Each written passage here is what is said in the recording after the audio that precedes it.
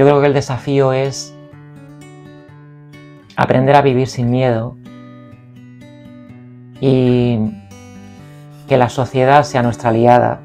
Nadie puede discriminarte por tu elección sexual. Es algo muy propio, es algo que uno elige con el corazón y eso es lo más importante.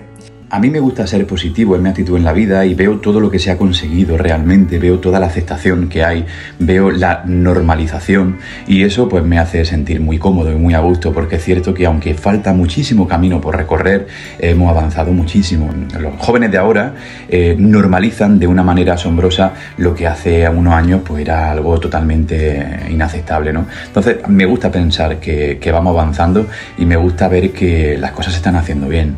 Así que creo que vamos por buen camino.